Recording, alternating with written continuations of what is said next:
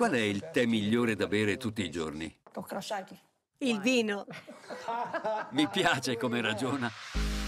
Ho scoperto che quello che tanti pensano possa condurre a una vita lunga e in salute è spesso fuorviante o sbagliato. E se riuscissimo a decodificare il segreto della longevità, è a questo che ho dedicato gli ultimi 20 anni della mia vita. Vi dispiace se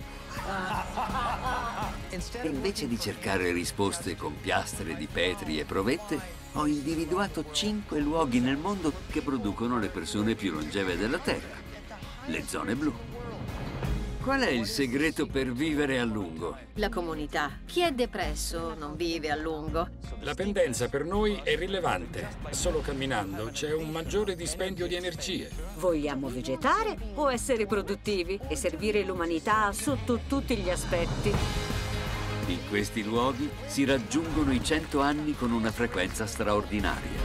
I loro segreti potrebbero aiutare tutti noi a ricavare quanti più anni buoni possibili dal nostro corpo.